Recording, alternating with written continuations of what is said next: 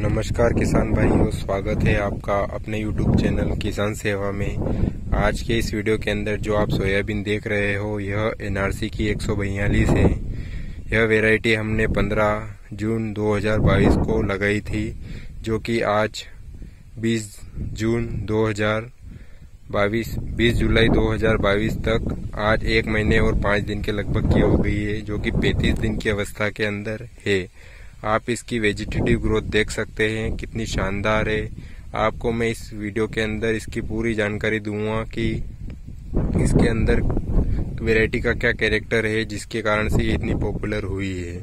तो जानते हैं इसके कैरेक्टर के बारे में। एनआरसी एक सौ बयालीस भारत की पहली प्रथम ऐसी वेराइटी है, जिसके अंदर कुनिट डिस्पिन इनिबिटर और लिपोक्साइनेस अम्ल जो रहता है, वो नहीं है।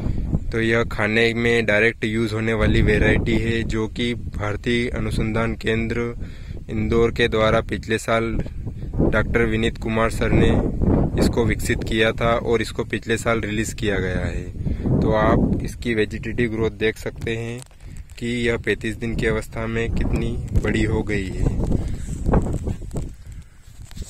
आप देख सकते हैं, ये अभी 35 दिन की अवस्था में है, जिसके पौधे की साइज़ भी इतनी बड़ी हो गई है और इसका पौधा हल्का रुएदार होता है और आप इसमें ब्रांचेस की संख्या भी देख सकते हैं कितनी ब्रांचिंग एक एक पौधों के अंदर है।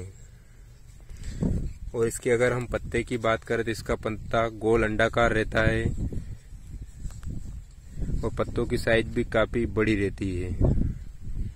आज ये पैंतीस दिन की अवस्था में सोयाबीन हो गई है। इसके अंदर हमने अभी एक बार ही कीटनाशक का स्प्रे किया है। इसके अलावा हमने कोई सा भी स्प्रे नहीं किया है। आपको मैं इसका एक सिंगल स्टेम का पौधा दिखाने वाला हूँ। देख सकते हैं ये।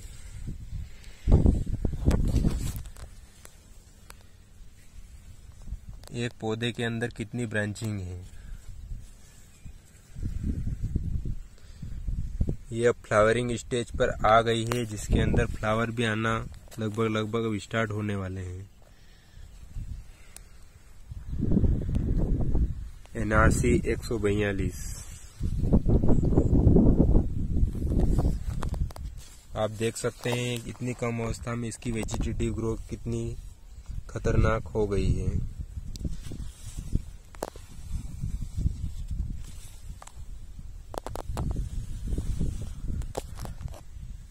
आप मुझे कमेंट कर कर ज़रूर बताएँ कि आपको यह वीडियो में जो सोयाबीन की जानकारी है, कैसी लगी और इस वैरायटी के बारे में आपको और कुछ जानकारी चाहिए तो आप कमेंट कर कर हमसे पूछ सकते हैं। और आपसे निवेदन रहेगा कि इस वीडियो को अन्य किसान भाइयों के पास भी शेयर करें, जिससे कि उनको इस वेराइटी के बारे में जानकारी मिल सके। आपको मैं थोड़ा आगे चलकर वो दिखाता हूँ। ये देखिए।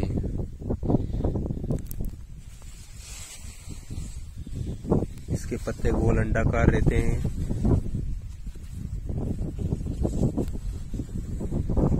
पत्तों की साइज़ भी काफ़ी बड़ी रहती है।